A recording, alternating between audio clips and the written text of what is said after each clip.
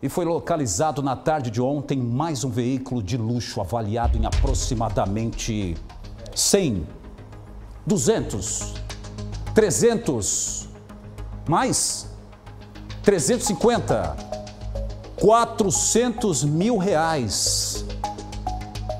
Dentro das investigações da, da polícia com a operação Game Over, a nossa equipe acompanhou, inclusive, a remoção deste veículo para o pátio da polícia. E quem esteve lá? Ele, Arão José, no ar. Essa ação da Operação Game Over, que continua em andamento, aconteceu aqui no bairro da Mangabeiras. Segundo a Polícia Civil da Delegacia de Estelionato, que está responsável pelo inquérito policial, o veículo apreendido é este aqui.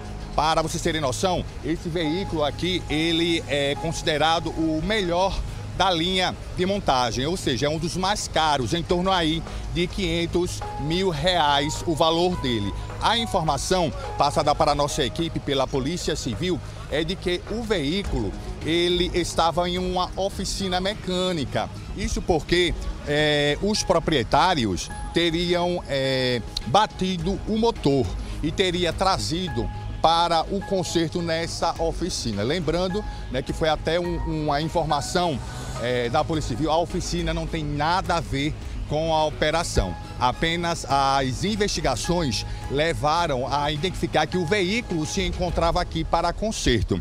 Para vocês terem noção do valor desse carro, ele, só o conserto dele é, seria em torno de 36 mil reais para consertar o motor que foi batido pelos proprietários. Então a informação é de que né, o veículo foi apreendido após essa investigação iniciada por conta de jogos de azar, né, do famoso Tigrinho, onde é, influenciadores digitais aqui de Alagoas estariam se utilizando de uma prática para é, enganar os seus é, seguidores. Eles é, utilizavam uma conta demo para que é, na hora que ele fosse gravar, fazer o comercial, fazer a propaganda do joguinho, ele sempre ganhava.